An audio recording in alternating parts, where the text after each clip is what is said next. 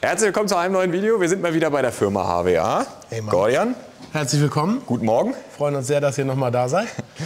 Gordian sagt schon, wir sind noch mal da, da kommen wir später drauf. Wir mussten tatsächlich einmal ein gesundheitsbedingt ein Video letztes Mal abbrechen. Kam sonst auch noch nie vor. Ja. Ähm, aber ist nicht so wild. Diesmal haben wir so ein bisschen mehr Zeit mitgebracht und jetzt gucken wir, was hier in Affalterbach so geht. Was es Neues gibt, seitdem du das letzte Mal hier warst. Das, also letztes Mal muss ich wirklich sagen, das war so mit, das ist das, das Coole in Anführungsstrichen an meinem Job, dass man tatsächlich solche Firmen sonst nie zu Gesicht bekommt. Ne? Und das, was ihr ja wirklich gezeigt macht und so weiter, war schon, also muss ich sagen, ich weiß nicht, ich glaube, wir haben drei Videos geschafft oder so Ja, an dem Tag. ja, war viel- Ähm, viel- das war viel zu schon, zeigen, ja. waren ein paar Highlights dabei. Ne?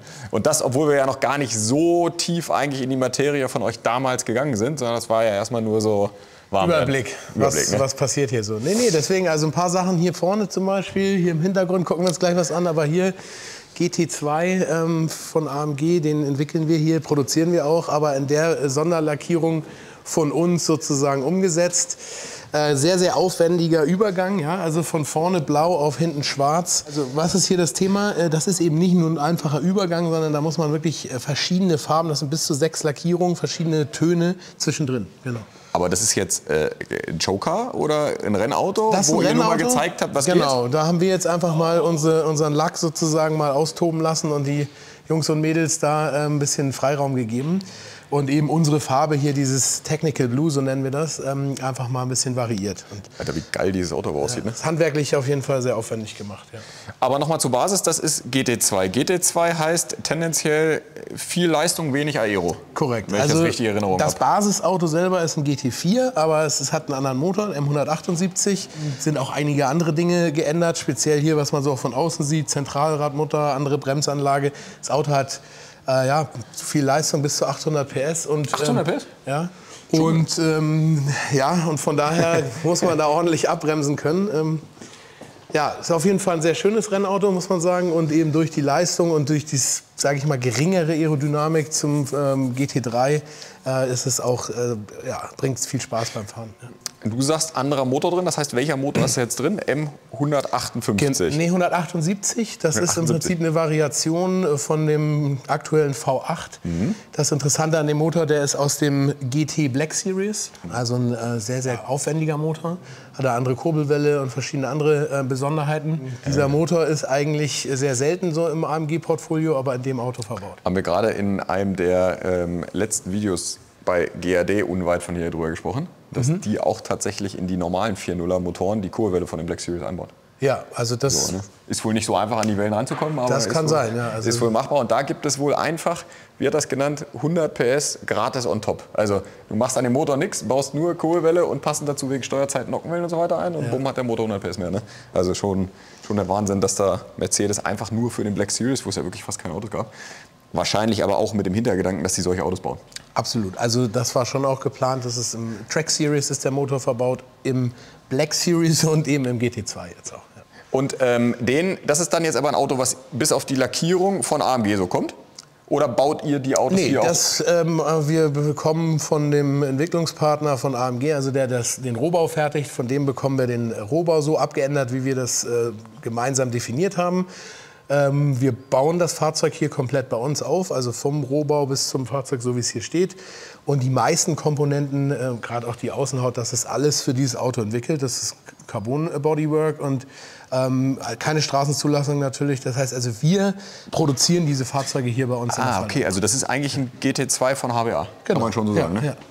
Da warst du noch gar nicht, da müssen wir noch mal runter dann. Nee, da, also ich habe, ich habe von dieser Ja, wir Fertigungsstraße produzieren- gehört. Genau, also bis zu 120 Autos im Jahr können wir hier produzieren. Ähm, in dieser, sage ich mal, Miniaturproduktion. Äh, ähm, Produktion. Und ähm, von daher sollten wir uns auch noch mal anschauen dann. Das heißt, da kommt sowohl GT2, GT3. Ja, also da könnten theoretisch vier Produkte gerade rauskommen. Also GT3, GT2, Track Series und ähm, GT4. Und in Zukunft vielleicht auch noch was anderes. Man sieht mal wieder, hier wird ein bisschen mehr gemacht, als man immer so du musst das ja immer so erzählen und ich weiß immer nicht, was man so sagen darf. Naja, klar. Na, also das ist ganz klar, das ist eine Kooperation äh, mit AMG. Natürlich, äh, wir sind da der Entwicklungspartner, Produktionspartner. Aber ja, wir haben hier praktisch eine eigene, so eine eigene Mini-Produktion aufgebaut. Also es ist jetzt kein Förderband in dem Sinne, aber wir können da bis zu zwei solche Fahrzeuge die Woche fertigen. Und äh, GT2 gibt es, wie der Name schon sagt, eine Klasse für. Kann ich den aufmachen? Ja, ja gerne. Äh, GT2 gibt es eine Klasse für und genau. das ist dann also, genau nach GT2-Reglement gebaut. Genau, das ist jetzt 4 GT2. CO2-Reglement, das ist im Prinzip, ähm, gibt schon länger, aber momentan hat das einen Aufschwung, weil es, wie gesagt, eben leistungsstarke Fahrzeuge sind. Du siehst auch hier, ähm, ich kann dir das später genau mal zeigen, die Räder hinten sind extrem breit, extrem hohe Flanke. Also wir haben hier tatsächlich, brauchen hier viel Traktion, weil das Auto ja nur Heckantrieb hat. Und ähm, durch die hohe Leistung ja. haben wir da auch einen hohen Verschleiß. Von daher, also das Auto bringt richtig Spaß zu fahren, mhm. äh, ist aber eben vom Performance-Level unterhalb des GT3s. Und wenn sich jetzt einer bei euch so ein GT2 kauft, wie läuft das dann am Rennwochenende ab? Seid ihr dann auch vor Ort, um das Ganze zu, zu reparieren, warten und so weiter? Oder richtig ist das der Kundensport, wo, wo die Teams selber ihre Leute mitbringen? Das Oder ist, sowohl als auch? Das ist ganz einfach erklärt. Also erstens, wir verkaufen das Auto nicht. Wir produzieren und entwickeln das für AMG. Das okay. heißt, AMG ist der Verkäufer.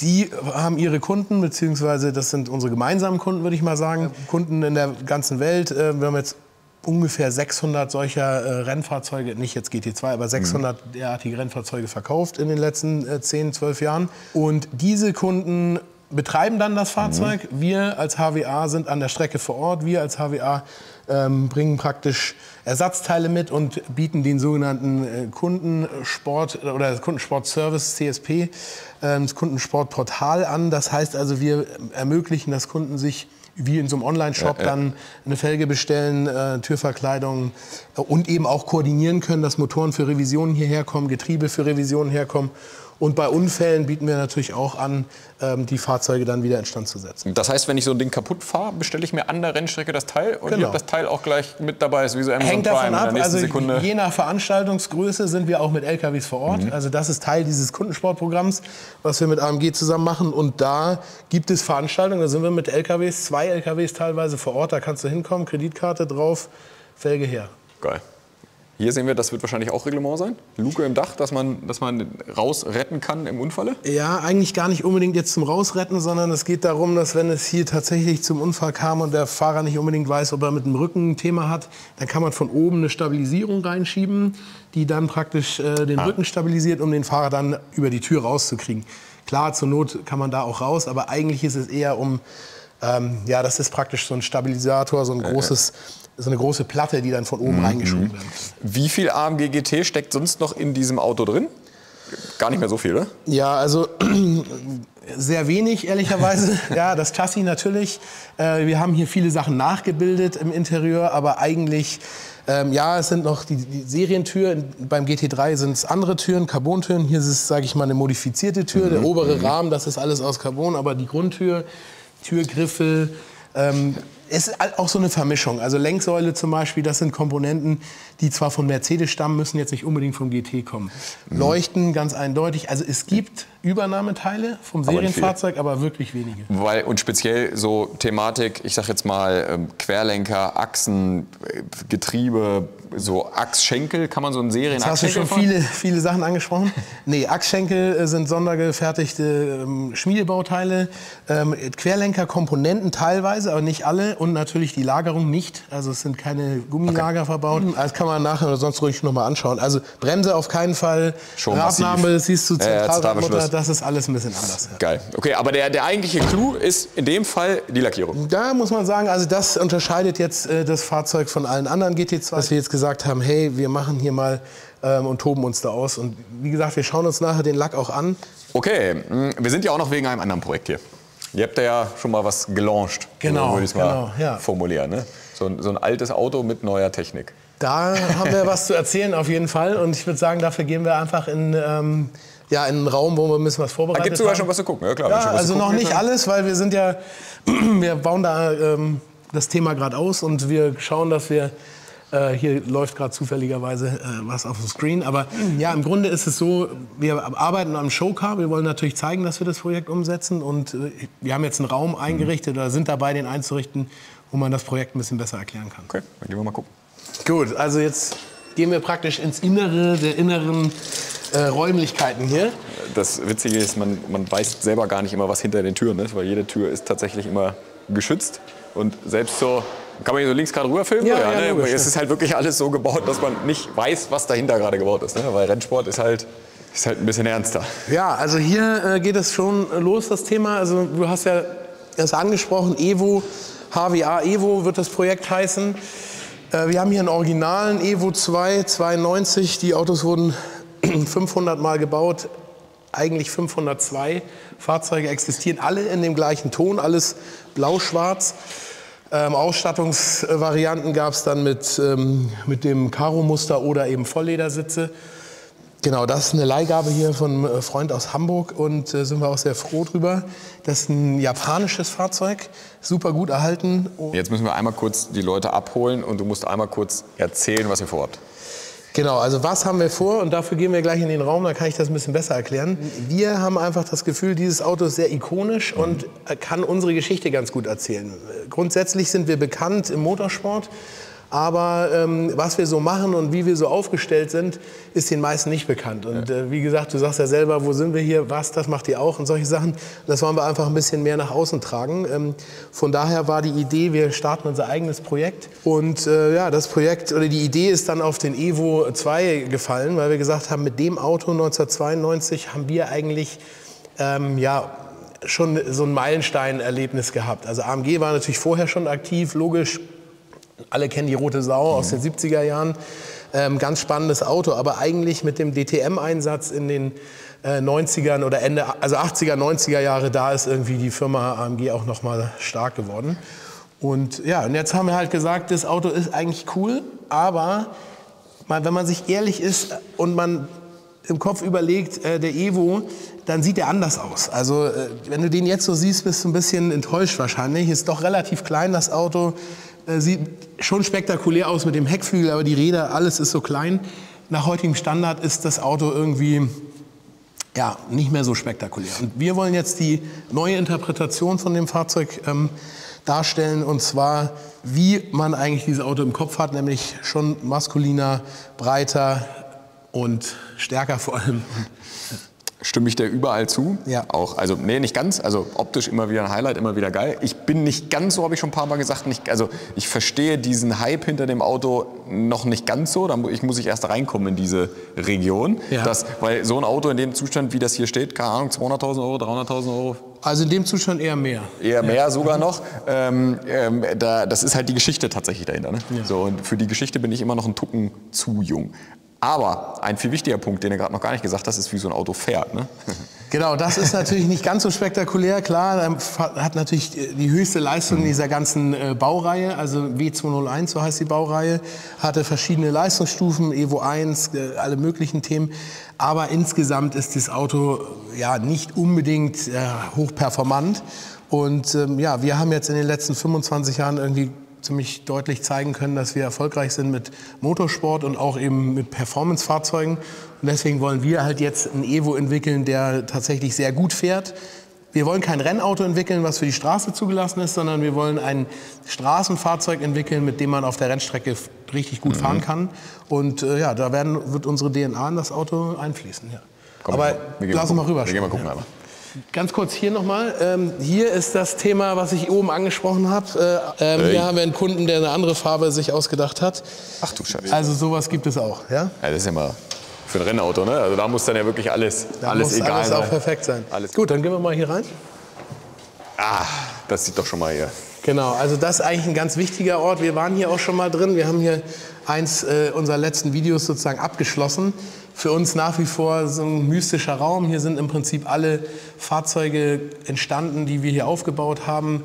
Vom CLK GTR über äh, zuletzt halt auch die Apollos. Äh, also hier auf dieser Messplatte bauen wir praktisch Fahrzeuge zum ersten Mal auf und schauen, ob alles funktioniert und klappt. Und äh, was wir jetzt hier sehen, ist ähm, ja, einfach ein 190er Chassis, das haben wir zerlegt und ähm, gescannt. Das ist eins von drei Chassis, die wir bereits haben und äh, überprüfen, weil auch damals die Rohbautoleranzen waren re- recht hoch. Ähm, und die CAD-Daten existieren ja gar nicht. Also von daher müssen wir die jetzt erstmal erstellen. So soll das Auto am Ende mal aussehen. Genau, das sind jetzt Designstudien. Ähm, so nach diesem Stand bauen wir jetzt gerade ein Showcar auf. Und äh, ja, das ist der aktuelle Stand. Edgar Schuh ist der Designer dazu. So sieht das aus. Aber habe ich richtig verstanden, ihr baut die ganzen Autos auf Basis von einer alten Karosse auf? Genau, also wir können hier mal so ein bisschen reinblättern. Ähm, also nochmal für alle zum Klarstellen, Hans-Werner Aufrecht ist das A von AMG und damit der Gründer von AMG, aber auch der Gründer von der Firma HWA, in der wir uns ja heute befinden. Hier zeigen wir so ein bisschen, okay, äh, wo kommt die Geschichte her, dieses, diese, sage ich mal, Signifikanz des Evo 2 ganz klar aus dem Motorsport mit Klaus Ludwig, der 1992 da den Meistertitel gewonnen hat und äh, wir da eigentlich auch sagen, ähm, ein Stück weit haben wir dieses Fahrzeug halt auch sozusagen mhm. nach vorne getrieben. Das ging dann noch bis 93, danach gab es dann den Modellwechsel, 93 waren die letzten 190er unterwegs als Klasse 1 Fahrzeuge. Und jetzt gehen wir mal in die Zukunft. Ähm, was haben wir jetzt vor? Also wir wollen jetzt praktisch Basisfahrzeuge nehmen und das ist kein Evo natürlich, die sind viel zu selten und es wäre auch sehr schade, wenn man die zerlegt. Äh, wir nehmen praktisch einen Basis 190er, vielleicht jetzt nicht genau das Beispiel, hier ist auch sehr viel Rost an dem Fahrzeug und Unfallkarossen sind auch nicht so ideal. Wir zerlegen das Fahrzeug, dann wird das praktisch komplett entlackt, der Rohbau. Und dann geht es richtig los, weil dann ändern wir den Rohbau massiv. Ähm, wir werden praktisch im vorderen Bereich eigentlich fast alles abschneiden, weil wir ähm, Ihr müsst euch das so vorstellen, wir haben das Fahrzeug gescannt, nachgebaut und dann auch virtuell gecrasht. Also wir fahren mit diesem Fahrzeug ähm, Crashtests digital, virtuell und konnten halt feststellen, dass ja, nach heutigem Gesichtspunkt da auf jeden Fall was getan werden muss. Und ja, mit, dem, mit diesem Umbau können wir uns auch andere Freiheitsgrade schaffen. Also das Fahrwerk hinten ist das gar nicht so schlecht, vorne äh, gibt es auf jeden Fall bessere Möglichkeiten. Und wenn wir jetzt einen neuen Vorbau haben, dann kann man da auch äh, Doppelquerlenkersysteme einsetzen und einfach auch einen modernen Standard machen. Und da kommt natürlich so das Know-how auch rein, was wir jetzt die letzten 25 Jahre im Motorsport entwickelt haben. Wie soll so eine Kinematik aussehen? Weißt du, wie ist die Sturzentwicklung beim Einfedern? Was haben wir im Prinzip für Möglichkeiten, da ein performantes Fahrwerk zu bringen, das einfach gut fährt, ein gutes Handling, auch das Lenkungssystem, das wird alles komplett neu. Ja, also ich könnte jetzt, jetzt zwei Stunden erzählen, was wir hier vorhaben, aber das wird sehr spektakulär. Also habe ich richtig verstanden? Hier so? Genau, also vor der sogenannten Feuerwand wird praktisch abgetrennt. Dann gibt es äh, eine Übergabestelle. An der Übergabestelle entsteht ein komplett neuer Vorderwagen aus Aluminium, der auch viel mehr Energie aufnehmen kann. Und wir wollen vor allem auch den Motor, das wird ein V6 Biturbo sein, den wir einbauen. Den wollen wir sehr niedrig und sehr weit nach hinten einbauen, einfach aus Gewichtsverteilungsgründen. Und um den nach hinten äh, zu setzen, müssen wir, aber das können wir uns nachher nochmal anschauen, gibt es keine Ölwanne mehr, sondern Trockensumpf. Also wir machen hier sehr viele Sachen. Getriebe wird hinten sein, Transaxle, also Sechsgang-Handschalter auf der Hinterachse. Und um das da einzubauen, kannst du dir vorstellen, müssen wir nicht nur am Rohbau viel machen, sondern müssen auch einen ordentlichen Rahmen entwickeln, der das Thema dann aufnimmt. Das heißt, am Ende bleibt eigentlich nur noch die DNA des, des Evos in Form von einem bisschen Blech von dem 190er damals. Richtig, also eigentlich nur ein Teil des Greenhouses. Mhm. Ähm, das wird natürlich verstärkt, weil es halt einfach viel zu weich ist und zu flexibel ist. Mhm. Und das wollen wir natürlich ertüchtigen. Mehr Leistung, mehr Performance, das musst du alles irgendwie absichern und kompensieren. Von daher, da gibt es viel zu tun. Haben wir auch alles schon digital sozusagen erarbeitet. Und ähm, eigentlich bleibt nur das sogenannte Greenhouse. Also A, B, C-Säule, so das bleibt vom Stil erhalten, die Scheiben und solche Sachen. Alles drumherum ist skaliert worden. Und ihr seht ja auch hier äh, sind viel größere Rathäuser. Die Räder sind äh, original. Hier sieht man es auch ganz. Bei dem, ja, bei dem also in der Farbe sieht es auch äh, relativ spektakulär aus. Wie viel breiter ist der in Summe? Weil das sind ja schon ja locker 10, 15 Zentimeter was? Genau, also pro Seite hinten 150 Millimeter. Echt 100? Genau, aber nicht alles über den Radlauf, sondern die ganze Seitenwand kommt raus. Ähm, Ach, stimmt, hier oben sieht man es, ne? Genau. Hier oben sieht man, wie selbst die die ganzen Türen schon eine Kante von oben drauf bekommen. Genau, also das Greenhouse bleibt, aber untenrum geht alles auf und das Originalfahrzeug draußen hat rund um 17 Zoll. Wir fahren jetzt vorne 19, hinten 20. Ähm, Felgen sind schon da. Wir bauen ja gerade das Showcar, also das ähm, wird schon spektakulär. Und diese ganzen Anbauteile, alles Neufertigung, genau. Carbone? Alles aus CFK, ja, komplett. Also bleibt wirklich nur noch das hier in Blech ja. und alles andere in CFK. Mhm, genau. Und habe ich aber richtig verstanden, mit TÜV das Ganze? Genau, mit Zulassung, ja. In, in Deutschland oder, oder in Polen? nein, nein, nein. Das ist eine deutsche Zulassung, also eine europäische Zulassung wollen wir erreichen. Äh, es soll ein COC-Dokument geben, das heißt also eine Neuzulassung in Europa. Sehr aufwendig, Auch abgasmäßig natürlich eine Herausforderung, aber das gehen wir gerade anders. Ah, Neuzulassung heißt, da steht dann HWA drin. Genau, es wird eine HWA-Fahrgestellnummer. Also man hat dann quasi wirklich HWA 001, 002, 003 Genau. und so weiter. Also 1 bis 100. ja. 100 Autos davon Genau, wunderbar. 100 Autos. ja. Okay. Wie sind da so die, die Anforderungen? Für, weil es ist halt ein Unterschied, ob ich jetzt ein Auto nehme und umbaue und es einfach nur eingetragen haben will oder halt ein ganz neues Auto zuführe. Ja.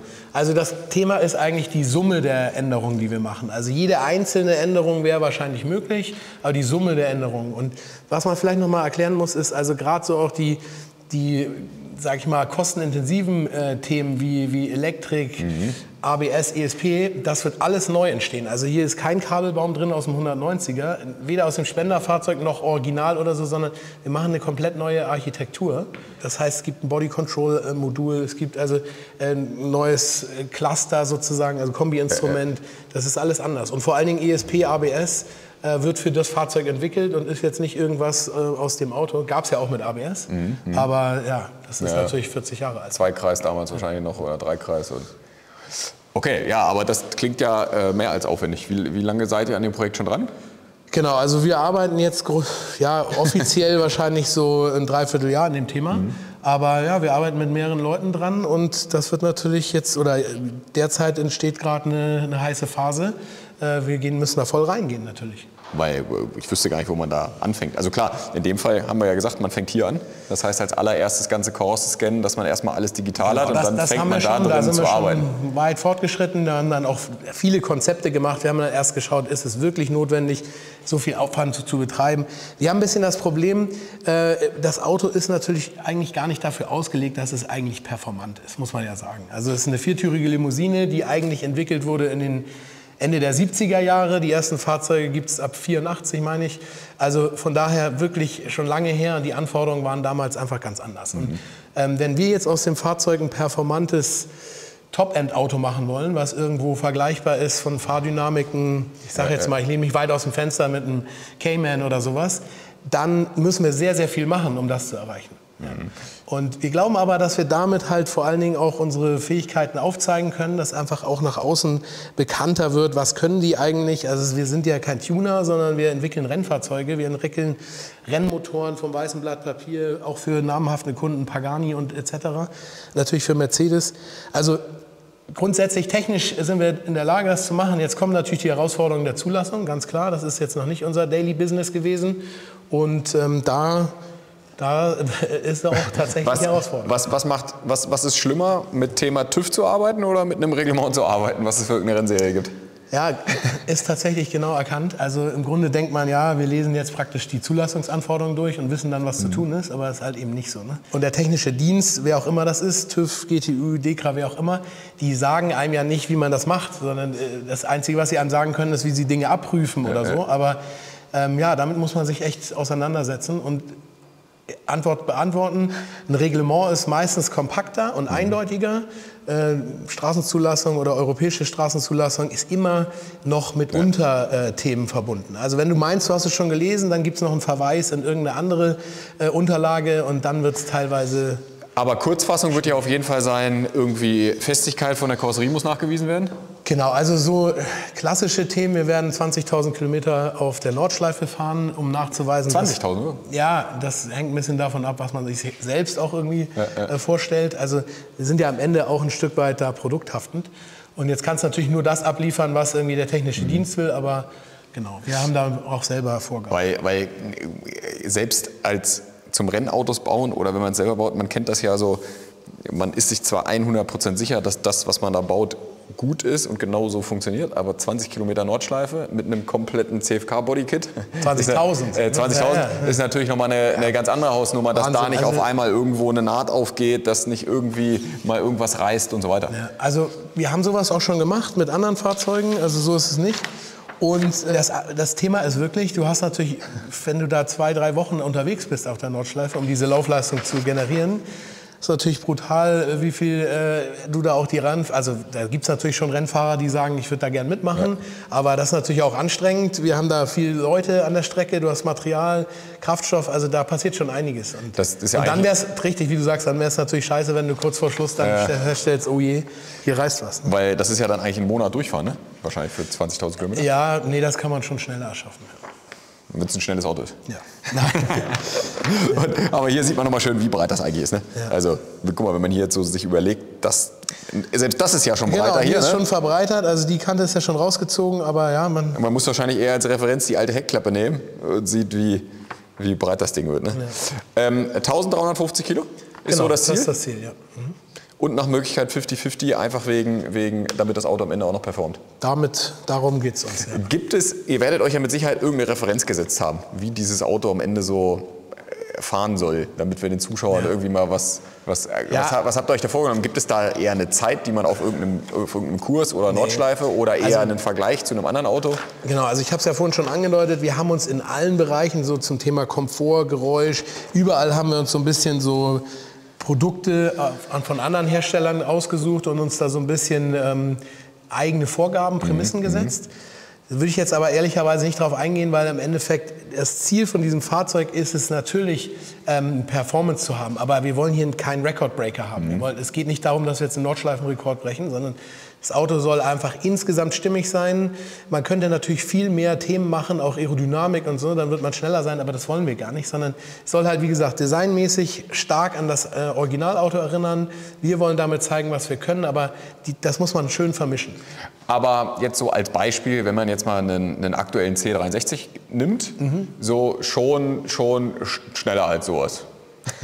Ja, also äh, du hast ja gerade das Gewicht angesprochen. Ähm, ich sag mal, So, also, das ist, also ist es schon so Sinn und Zweck der Nummer, dass, dass, man, dass ich mit diesem Auto am Ende auf den Trackday fahren kann oder Spaß habe? und da auch dem einen oder anderen irgendwie ein Staunen ins Gesicht. Also ist da soll schon alles, was ihr rennsportmäßig gelernt habt, soll da definitiv reinfließen. Und Ja, aber wie gesagt, äh, wir haben ja auch ähm, DTM-Autos auf hohem Niveau entwickelt. Also natürlich nicht. Wenn wir jetzt Ja. alles reinstecken, dann wird es ein Rennauto für die Straße. Ja, das ja. wollen wir nicht. Ne? Also es ist ganz klar ein Straßenauto, das Track-approved ist. Und letzter Punkt, wie ist dieses Auto dann konfigurierbar? Also wie, wie läuft das ab von den 100 Stück? Man ruft hier an und sagt, ich hätte gern einen von den Evos und kann sich dann alles aussuchen oder? Genau, also im Grunde ist das so, wir haben ja Autos schon verkauft, äh, auch erstaunlich, äh, wie die Resonanz auf dieses Also echt, Fahrzeug sind ist. echt schon Autos von weg? Ja, ja, also Immer Wahnsinn, ne? Dass, Ja. es, dass, dass Leute so viel, also so viel Leidenschaft und Vertrauen haben, dass sie gleich sagen, Alter, 714.000 Euro netto, bring rum, leg los so ungefähr, ne? Ja, ähm, ich glaube, für die meisten klingt das auch enorm teuer äh, oder sag ich mal kostenintensiv. Aber wie ich es ja gerade erklärt habe, wir entwickeln hier im Prinzip ein komplett neues Fahrzeug ähm, und das muss man eigentlich sehen. Ähm, ja, es ist designmäßig Interieur, Exterieur wird stark an das Originalauto angelegt sein. Aber hier ist ein Kotflügel, diese Elekt Scheinwerfer, diese ganzen Themen ist alles neu. Also es ist eine Neuentwicklung eines Fahrzeugs. Ja, und vor allem gerade Rückleuchten, Scheinwerfer ist ja auch so eine Thematik, muss ja definitiv ein E-Prüfzeichen drauf sein. Das heißt, die kann man ja nicht mal eben so irgendwie Die gibt's eine- nicht irgendwo aus eine Form machen, dann irgendeine Linse reinkleben und Nein, sagen, nein, so nein. jetzt und, ist das äh, nur um das mal so ein bisschen abzustecken, also allein Entwicklungskosten für so einen Scheinwerfer, jetzt lassen wir mal die Heckleuchten raus, das ist ein deutlich siebenstelliger Betrag. also, glaub ich. und diese Kosten mit Abprüfungen, ähm, die musst du natürlich irgendwo wieder reinholen. Also, und von daher, ja, also in Summe glauben wir, dass das ähm, Produkt sehr spannend wird, durch die Limitierung vor allen Dingen sehr interessant auch und das haben auch die meisten Leute erkannt. Ich bin mal gespannt. Ich hoffe, dass das nicht so wird, dass die 100 Autos alle in irgendwelchen Sammlungen enden, sondern dass es tatsächlich auch welche gibt, die am Ende gefahren werden. Dass nicht so dieser ganze Ja. Performance-Aufwand. Ich meine, am Ende kann es ja egal sein, ob es gefahren wird oder nicht. Wenn die Autos verkauft sind, sind sie verkauft. Aber es ist natürlich Nee, auch für, für, uns auch schon wichtig, geiler, dass das die Auto halt gezeigt fahren. wird und so. Ja. Ja, also wir haben auch, äh, muss man auch sagen, die ersten Kunden sind auch Kunden natürlich, die uns nahestehen, also auch aus dem Rennsport Mhm. kommen.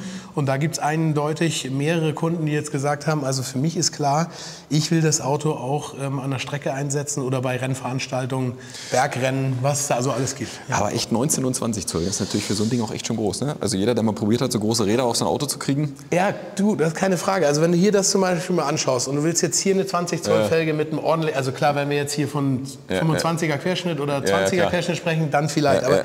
wir wollen ja, einen ordentlichen ja, Flanken ja, haben. 35er Reifen sogar drauf machen. Ja. Ja, genau. Ähm, ich zeige dir nachher mal das Rad. Wir gehen jetzt sogar wahrscheinlich auf 285, 35. Ähm, genau. ähm, das geht natürlich hier nicht in dem Rathaus. Ähm, und deshalb ist auch die Hinterachse weiter nach hinten geschoben, um genau diesen Einstieg hier nicht total betäuben zu müssen. Ähm, wird jetzt praktisch das Rathaus eigentlich grob gesagt so aussehen im Ausschnitt. Und dann ist ja die Seitenwand, geht so und so raus, da kommt eine CFK-Seitenwand mit einem CFK-Rathaus rein. Und das Rad ist eben nicht an der Originalachse, sondern die ist ja komplett neu. Das heißt, der Radträger, Radnabel, das sind alles Sachen, die überhaupt nichts mit dem Auto zu tun haben. Und halt auch Getriebe hinten hat halt auch so gar nichts mit dem Auto eigentlich zu tun. Also du musst dir vorstellen, hier ist praktisch die Antriebswelle vom Getriebe, kommt hier raus in einen gefrästen Radträger. Da ist ein Radnabensystem dran, ein sehr spannendes. Da ist eine Bremse drauf, die irgendwie nicht aus der Serie kommt und lauter so Zeug. Und dann kommt eben ein eigens dafür gefertigtes Rad. Gibt es übrigens drei verschiedene. Das wäre die Frage gewesen, ob, ob, ob die alle genau so aussehen oder ob man da schon ein bisschen, Ja. bisschen, bisschen äh, variieren kann. Also das ist im Prinzip klar, in Farben kann man immer variieren. Also Ja, das ja. ist jetzt das Original Sechsspeichenrad, so wie das Auto auch ausgeliefert wurde. Nur ein bisschen breiter, größer, konkav. Ja, genau. Ja, und dann gibt es natürlich noch eine Hier, Option. hier sieht man halt schön, ne? sieht, wie das Rad auch gleich ganz anders aussieht, wenn es konkav ist gegenüber draußen, wenn es nicht konkav ist. Ne? Flach, ja. Nee, dann gibt es noch eine geschlossene Variante, die so ein bisschen so erinnert an das Rennauto der Zeit. Das ist praktisch komplett geschlossen, außenrum Öffnung. Das ist auch schon das Rad, was hier ist. Und dann gibt es noch ein Überraschungsrad. Aber sonst kann ich frei wählen, Farbe frei wählen, Genau. Innenraum frei wählen. Paint to Sample, du bringst uns mit hier zum Beispiel dein Pullover und dann Gibt's genau ist die Farbe. ja. Aber das ist auch das Thema Lack und ich glaube, das sehen wir auch heute. Ähm, was die Jungs und Mädels da machen. Wir arbeiten ja mit Lackherstellern zusammen, entwickeln Lacke tatsächlich. Gerade auch für die Fahrzeuge, die wir für ähm, Apollo lackiert haben, da war jedes ein Einzelstück und äh, ja, enorm aufwendige Lackthemen. Was von den ganzen Arbeiten wird alles hier nach Falterbach gemacht? Kurz gefasst, alles fast so. Nee, nee, also äh, wir machen natürlich hier die Entwicklung, das heißt, wir überlegen uns, wie das alles abläuft. Aber die Produktion der Bauteile, das heißt, also, wenn wir hier so eine CFK-Seitenwand haben, für Showcar und so, das haben wir alles hier im Haus gemacht. Da haben wir auch entsprechende Kollegen, Kolleginnen, die das super können. Aber äh, um das dann in der Stückzahl 100 zu produzieren, da haben wir hier auch im Umkreis viel Regionallieferanten, die das dann machen.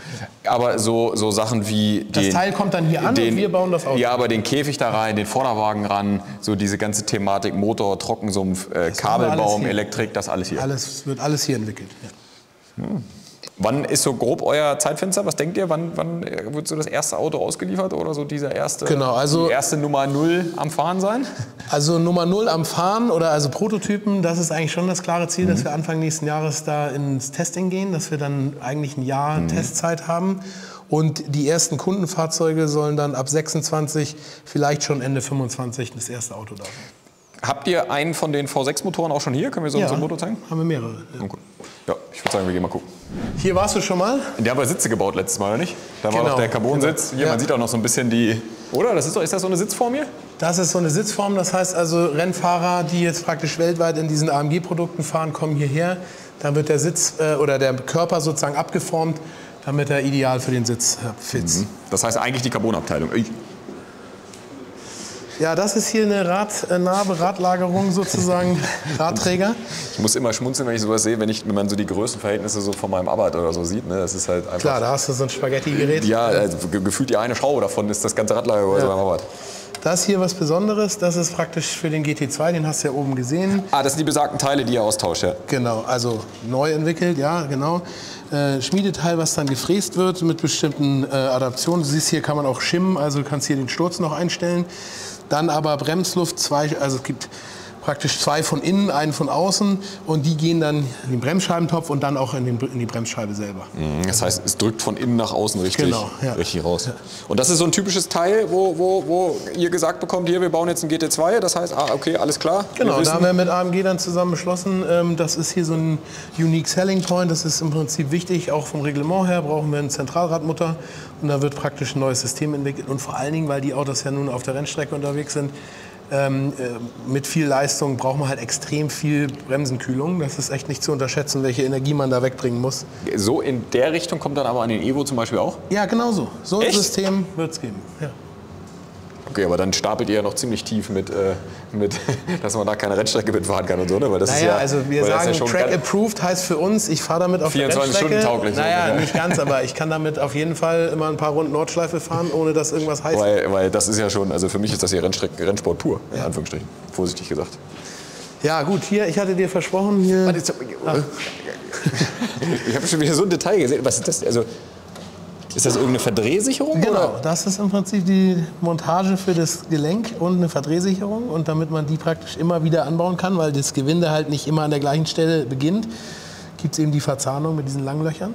Das ist eigentlich, um den Sitz zu schützen. Ja? Das Aluminium ist ja super weich und das Lager eben äh, natürlich extrem hart. Und du musst es dann auspressen und rausschlagen können. Und damit nicht der Radträger kaputt geht, gibt es dann einen Einsatz. Wobei ihr tatsächlich ja wirklich jedes einzelne Gewinde auch schon mit einem Einsatz habt, ne? Genau, also das machen wir immer bei Aluminium, dass vorab äh, Inserts da gesetzt werden und sonst, sonst schraubst du einmal rein und dann ist das Gewinde auch kaputt.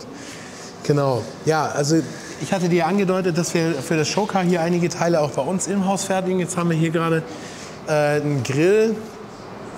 Also das sind alles äh, so, sage ich mal, mehr oder weniger Einmalwerkzeuge. Da kann man schon eine ganze Reihe Bauteile rausholen. Ähm, in dem Fall ist es der, der Kühlergrill. Ach, wie geil. Und ähm, was man hier schon so ein bisschen sieht, dass die Proportionen anders sind. Also jetzt haben wir leider keinen Originalen hier, aber das ganze Auto ist ja breiter. Das heißt, auch der Kühlergrill ist breiter, die Scheinwerfer sind breiter. Das haben wir halt überall so ein bisschen skaliert. Aber das heißt, das hier ist. ist das ist so ein Schaum, also so ein Oriolschaum, der wird praktisch gefräst. Und in dem Fall ist das hier zweiteilig. Das heißt also, äh, warte mal ganz kurz, genau, setzt das so auf. Okay, damit also man dann den Überstand auch abformen kann. Und das ist jetzt schon beschnitten und fertig eigentlich zum Einsatz. Und, und äh, eure Jungs und Mädels laminieren dann in diese Form direkt rein? Genau, das wird dann eben gewachst und ein Trennmittel geht da rein. Dann wird das laminiert und Aber ausgebacken. Ich finde find einfach immer, man merkt beim Rausheben eines Teils, ob es halt ein Carbon-Optik-Teil ist oder ob da halt schon immer Leichtbau hintersteckt und es halt wirklich so gebaut ist, Ja, wie, es, also- es maximal wenig wiegen soll, aber immer noch, immer noch stabil ist. Ne? Also das schon. Ja, also das ist ein eindeutiges CFK-Teil. Aber selbst das macht ihr jetzt nur für, nur für den ersten Prototypen fürs Showcar. Genau. Auch hier die Haube, äh, Türen sind hier noch. Also ähm, da haben wir jetzt einige Teile gemacht. Aber wenn es dann darum geht, das dann in hundertfacher Stückzahl und eben auch dann Ersatzteile zu produzieren, da gehen wir in ganz andere Werkzeuge, wahrscheinlich in CFK-Werkzeuge. Und da kann man dann auch mehrere Stück rausholen, ohne dass die Qualität äh, schlechter wird. Das machen Lieferanten für uns. Vor allem, das ist ja ganz normales Handgelege auch, ne? Also das wird ganz normal händisch reingelegt Ja, genau. und dann äh, Vakuum gezogen und in den Ofen. Ja. Boah, das sehen aber echt gut aus, die Teile für. Ja, also die sind jetzt äh, tatsächlich nicht im Autoklav gewesen. Die haben wir praktisch über ein Infusionsverfahren Ja. wird das hier gemacht, weil das eigentlich ähm, hier, sage ich mal, vor Ort jetzt das unkomplizierteste ist. Äh, wir haben bis 2016 auch zwei Autoklaven gehabt, haben uns dann aber entschieden, dass wir ähm, ja, derartige Fertigungen einfach nach außen vergeben. Aber wer weiß, vielleicht kommt das wieder. Cool.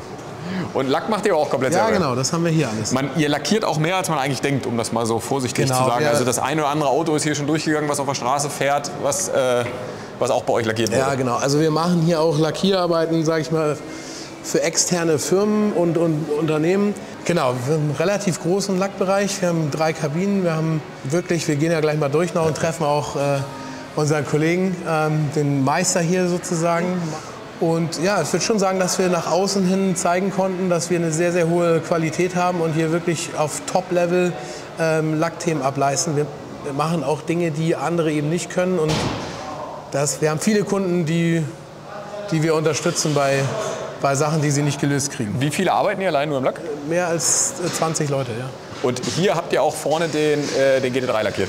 Mit den Übergängen. Den GT2, Äh, GT2, genau. sorry. Ja, wir haben die Übergänge hier lackiert. Wir haben eben alle Apollos äh, lackiert. Vielleicht können wir da nachher auch noch mal kurz so ein Auto sehen, dass man da sieht, was für ein Aufwand dahinter steckt. Ähm, jo. Ja, also ihr habt gehört, ein Apollo ist hier auch noch da. Und da können wir vielleicht auch mal. Ja, wir haben zurzeit drei Apollos, ein De Tomaso und den Prototyp, den Apollo Evo. Also wir haben hier wirklich gerade spannende Fahrzeuge im Haus. Vor allem Apollo ist ja auch Vollcarbon. Also da geht es wirklich dann Ja, um ja, die klar. Da geht es darum, auch dann eben das Gelege so zu haben. Das ist praktisch transparenter Klarlack, dass man es auch durchsieht. Das wirst du nachher sehen. Es ist nicht äh, farblich überlackiert, sondern wir spielen da mit dem Material und äh, Farben und auch noch mit changierenden Lacken. Also schon wirklich High-End ähm, Handcraft. Also schon keine Normallackiererei, sondern schon. nein. Also- weil weil äh, Apollo, sind das nicht, kosten diese Autos nicht äh, 3, 4, 5, 8 Millionen? Genau. Also acht nicht, aber geht auf jeden Fall so in die drei bis fünf Millionen.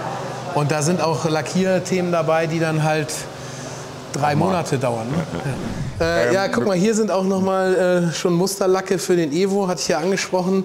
Da ähm, versuchen wir jetzt gerade alte Lacktöne äh, sozusagen zu modernisieren, nicht Walter? Da habt ihr im Prinzip äh, mit einem Lackhersteller euch was ausgedacht, dass der Ton zwar der gleiche ist, aber halt irgendwie die Agilität ganz anders ist. Also der Schatten und das Licht ist ganz anders als bei den Standardlacken. Und da macht es auf jeden Fall Spaß, jetzt mal was auszuprobieren. Und das war mal eine originale Benz-Farbe in der Richtung? Genau, also es gab auch den 190er tatsächlich, das heißt glaube ich Distelgrün oder so. Mhm. Ähm, aber der ist eigentlich relativ, äh, sage ich mal, unspektakulär. Der ist so ein bisschen matt und äh, selbst wenn man den Metallic-Effekt erhöht oder so, aber so richtig spannend wird er nicht. Und der Lack, äh, das sieht man jetzt vielleicht auf der Kamera nicht, aber wie gesagt, Schatten und Licht ist so deutlich, so unterschiedlich, äh, wird ganz spannend der Lack. Das ist ganz cool, wenn das mal so hinstellst und Hier kein Licht drauf fällt, dann ist es eigentlich wie schwarz. Ein bisschen wie so eine Handyfolie, wo man kaum drauf gucken kann. Ne? Genau, so und dann siehst du aber trotzdem, also die, der Kontrast ist zwischen Rot und Blau ähm, auch sehr aufwendig zu lackieren und wie gesagt, du siehst ja auch äh, einfach nur so vom Finish schon. Vor allem, das sind ja etliche Schichten auch, ne? Alleine ja. vom Abkleben her, dass ja. man erst die Schicht, dann die Schicht lackiert und am Ende nochmal einmal Klarlack drüber. Jetzt hast du uns heiß gemacht, jetzt wollen wir einmal kurz Apollo sehen. Ja gut, hier sind wir jetzt in der geheimen Halle sozusagen. Ähm, Nochmal zum Thema Lack. Also wir haben jetzt ein bisschen drüber gesprochen, aber wir haben hier ein Exemplar, was wir zeigen dürfen. Äh, da haben wir zusammen mit Apollo und Norman und Stefan Burger und den Kollegen äh, ja, für diesen Kunden was ganz Besonderes entwickelt. Hier sind praktisch Ach du Scheiße. Zwei changierende Lacke, also einmal der etwas dunklere in der Mitte und auch hier in den hinteren Teilen und dann im vorderen Bereich, also. Also das ist definitiv das, ich glaube tatsächlich das erste Mal, dass ich so ein Auto live sehe. Also okay. das, den Typ von Auto E auf jeden Fall. Bin mir nicht sicher, ob ich überhaupt schon Apollo gesehen habe. Aber das, das ist ja eigentlich kein Auto mehr, das ist ja eigentlich mehr irgendwie Kunstwerk. Ne? Also es zählt, glaube ich, mehr als Kunst als Auto. Ja, kann man schon sagen, ist schon eher ein Ausstellungsstück. Aber es ist natürlich entwickelt worden als Trackcar und ist damit auch sehr performant. In der Optik. Und Aber hier sieht man das ja, vielleicht kommst du noch mal ran. Das ist alles Vollcarbon? Genau. Und man hat hier praktisch mit transparenten äh, klar oder gefärbten Klarlacken gearbeitet, die dann aber sozusagen eben changieren sind und das auch in verschiedenen Graden. Also hier ist ziemlich deckend, hier ist viel Farbe drin, das wird dann immer mehr. Hier zum Beispiel ist ganz wenig drin. Vorne läuft es auch zusammen, also schon und aber die, diese Linien, die ich jetzt sehe, das ist das Carbongewebe genau, darunter? das ist jetzt dieser bes, bes, äh, besondere äh, Pattern sozusagen. Der sich aber Gordon, ganz ehrlich, wenn da irgendwas dran ist, da kann, das ist ja Großbaustelle, oder? Also da kannst du ja nicht mal eben jetzt hier nee, irgendwie... Nee, dann ist schwierig, dann muss man wahrscheinlich sogar äh, Teil neu ersetzen, ne? Teil ersetzen und neu lackieren. Hier ist noch was ganz Spannendes, hier ist ein selbstleuchtender Lack, den haben wir auch mit einem Lackhersteller zusammen entwickelt. Können wir leider jetzt nicht anschalten. Das heißt, hier ist keine LED oder so drin, aber der Lack ist praktisch kupferbasierend und leuchtet selber. Die Firma Apollo ist hier praktisch auf uns zugekommen vor einigen Jahren und hatte die Idee und das Design mitgebracht und wir haben dann gemeinsam ähm, dieses Auto entwickelt. Also tatsächlich ein, ein eigenes Monocoque für das Fahrzeug entwickelt, ähm, alle Trennungen, alle Komponenten, elektrische äh, Systeme. Da ist schon sehr viel Arbeit hier von uns gemeinsam mit Apollo reingegangen. Das heißt, die Autos wurden auch hier zusammengebaut? Genau, also wir haben das hier in gemeinschaftlicher Arbeit, hier auch in dieser Halle wurden diese Fahrzeuge gebaut. Wir haben in Summe jetzt elf Fahrzeuge aufgebaut. Drei von denen sind jetzt hier weltweit. Eins dürfen wir nicht zeigen. Das hat der Kunde selber noch nicht gesehen. Das ist jetzt das letzte Fahrzeug, soweit ich weiß. Also Grüße gehen raus. Sieht auf jeden Fall mega aus. Ja, also auch nochmal extrem spektakulär. Ne? So, sogar fast eher, also das ist ja wirklich schon mehr geht nicht. Ja. So in Sachen Farbe, äh, Proportion ist für mich mehr Kunst als Auto, aber das ist für mich richtig ein, wieder ein Tucken mehr Bad Boy. So, ja. so. Also ich will es jetzt auch nicht irgendwie übertreiben, aber bis vor kurzem stand hier auch noch der ähm, D Tomaso P72 genau hier. Auch ein sehr spannendes Projekt, äh, kannst du nachher vielleicht mal einblenden. Und hier im hinteren äh, Bereich gibt es noch ein spannendes Thema, das äh, schauen wir uns aber jetzt auch im Detail erstmal nicht an. Ist das hier aus dem Vollen gefräst? Ja, genau, das ist eine Titanblende aus dem Vollen gefräst, unfassbar aufwendig, aber das macht es Unfassbar günstig. Ja. Äh, was, was kostet so ein Auto, wie er hier so steht? Ja, also mit dem Lack natürlich mehr, aber so eigentlich zweieinhalb Millionen in die Richtung geht das. Ja. Wie viele Stunden gehen da in so einen Lack rein? Aber das ist ja jedes, du musst dir jedes Einzelteil immer erstmal überlegen, ja. wie du es lackierst. Also auch, du kannst das ja auch gefühlt nur am Auto, also du kannst es natürlich nicht am Auto lackieren, aber du musst ja am Auto überlegen, wie du es lackierst, damit diese ganzen Ja, Also ich sag mal so, Übergänge passen, das es ist halt auf jeden Fall nicht so, dass man das jetzt irgendwie beiseite legt und heute lackiere ich mal die Seite und das. Da gibt es auch Themen, die du dann wirklich durchlackieren musst. Also wir reden hier eigentlich von äh, also mehreren Wochen, äh, Monaten eigentlich. Ne? Das ist schon sehr, sehr viel Aufwand. Ja, unfassbar. Hast du mich tatsächlich echt sprachlos gemacht. Ja, Gordian. V6, Vito. Genau, das ist praktisch der Motor oder einer der äh, ersten Testmotoren jetzt, äh, der aufgebaut wird äh, für den HWA Evo. V6 Biturbo, richtig. Sehr kompakt, 60 Grad Bankwinkel, sieht man hier sehr schmal oben raus. Das ist ja jetzt umgedreht, weil wir hier jetzt gerade eben äh, einen Trockensumpf entwickeln. Wir wollen ja keine Ölwanne, damit der Motor möglichst niedrig eingebaut werden kann und dann auch richtig weit nach hinten versetzt. Der sitzt dann hinter der Vorderachse. Wo ist der ursprünglich verbaut Äh, gewesen? Der ist in verschiedenen Mercedes-Modellen verbaut we- gewesen. Aber wir haben eine besondere Ausprägung, die wir als Basismotor nehmen. Und die verändern wir natürlich äh, relativ umfangreich, damit wir die, äh, äh, sozusagen den Motor so nutzen können, wie wir das wollen. Was hat er in der Basis an Leistung gehabt? In welchen Variationen gab Ja, es von also AMG? so 400 PS. Ah, okay, also ist schon leistungsgesteigert für eure 485 PS. Ja, Ist schon ein bisschen mehr. äh, Genau, 450 bis 500, da müssen wir jetzt mal sehen, wo wir rauskommen am Ende. Es geht ja auch darum, eben die Zulassung Mhm. zu bekommen, abgastechnisch und so. Aber in dem Bereich wird es auf jeden Fall liegen. Und ich meine, du kennst dich auch aus mit V6-Motoren, da ist, äh, steckt noch viel Leistung auch drin. Ne? Gerade aufgeladene Motoren, ja. Ja, also ich sag immer, Turbolader ist das A und O, ne? Weil da ist die Stellschraube nach oben immer relativ, Genau, also relativ deswegen- einfach. Aber andererseits wiederum, deswegen bin ich mal gespannt, aus einem Serienmotor ja, wie ich euch kenne, einen rundstreckentauglichen Motor zu kriegen. Ich meine, der Trockensumpf wird schon mal der erste Schritt sein. Genau. Äh, da bin ich gespannt, was am Ende geht. Ja, das war mal wieder höchstgradig interessant hier. Super, vielen Dank. Wir haben wieder ganz, ganz viel gesehen. Äh, auf jeden Fall geiles Projekt, finde ich cool, so, so alte Karosserien, so nenne ich es jetzt einfach mal wieder so aufleben zu lassen. Wir bleiben, wir bleiben am Ball. Das heißt, Plan ist, es gibt bald einen ersten, einen ersten Prototypen, Showcar. Showcar, genau. Da werden wir gucken natürlich, dass wir das auch schnellstmöglich dir zeigen können und dich dazu einladen. Und dann geht es natürlich weiter zum Prototyp und Testing und so weiter. Also da sollen alle dabei sein. Ne? Aber frühestens nächstes Jahr. So lange dauert das schon. Ja, also genau, es gibt noch viel zu tun. Klar werden jetzt Motoren auf den Prüfstand kommen. Es wird jetzt im Prinzip schon viel passieren, aber so richtig erstes fahrendes Auto, mit dem wir sinnvoll testen können, äh, wird es eben ab nächstem Jahr, Anfang nächsten Jahr geben. Aber in diesem Jahr schon das Showcar, das auch schon auch einen Motor in der Art und Weise im Fahrzeug hat, weil wir wollen ja ein bisschen Also soll auch, soll auch Rollen fahren können. fährt auch, genau, aber halt noch nicht so, der Umbau ist noch nicht so, wie wir das jetzt vorhin beschrieben haben. Ja.